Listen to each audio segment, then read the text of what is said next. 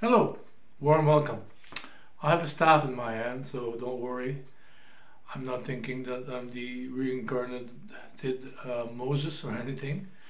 Uh, there's a purpose, and uh, will, you will see when I talk about this vision that I had a while back, where it was a another open vision that is uh, very serious, but uh, very um, encouraging.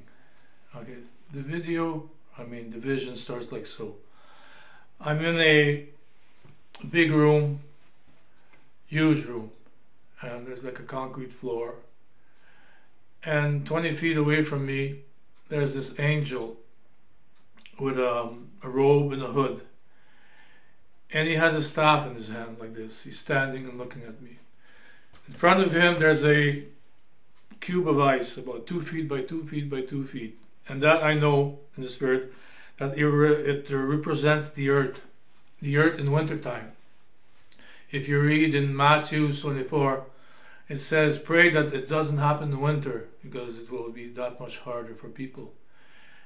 So, as I'm looking at this guy, this angel, he takes the staff and he goes like so, real high like this, and he goes bang, and he strikes the piece of ice. And as he strikes the piece of ice, the ground shakes and there's lightning and everything else, and that represents the beginning of tribulation. All right.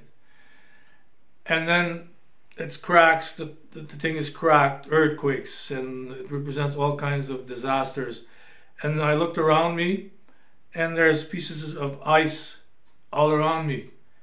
And then I look back to him, and he looks at me and he says, Are you thirsty?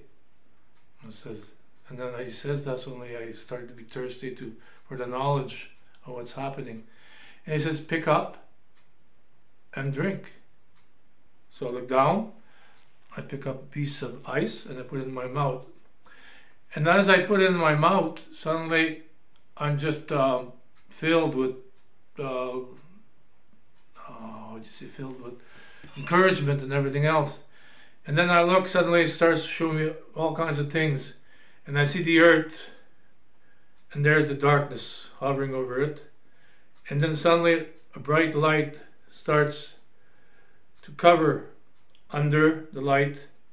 And then suddenly it comes, it takes over the darkness and it rises as, as, as the darkness is rising slowly, the light is rising way faster. And that's pretty well the end of the vision. Okay, this shows that in the tribulation and the last days, God will be there for us big times. So I suggest that don't worry about it. Be calm because He'll be there.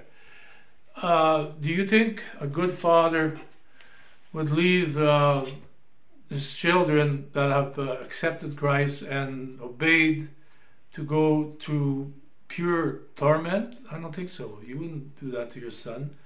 So therefore, God will be with the, with you there.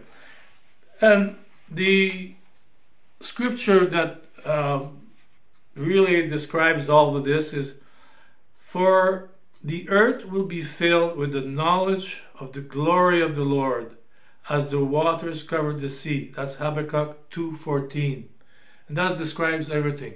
You see, the knowledge of the glory. In the knowledge of the glory, in the glory, there will be extreme uh, help, help, and um, I wouldn't worry if I were you. And so this is encouraging. I found that encouraging, and I'm not nervous of what's coming. I know when times will come, He will help me. Christ will be with you. So don't worry about it.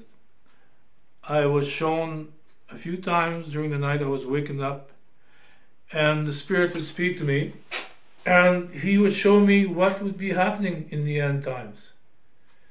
He says, if you, as a um, a Christian, whatever, pray, and there's drought He says, I can bring water just on your particular parcels of land.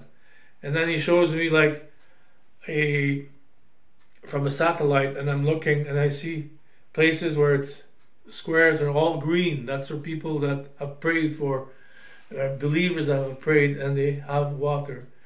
And then he talked to me about multiplication. Multiplication will be something uh, that will happen uh, everywhere. And uh, in the next uh, some next videos, I will give you my testimony of uh, what happened a few times with me on multiplication, which I never thought I would see in my life, but it is.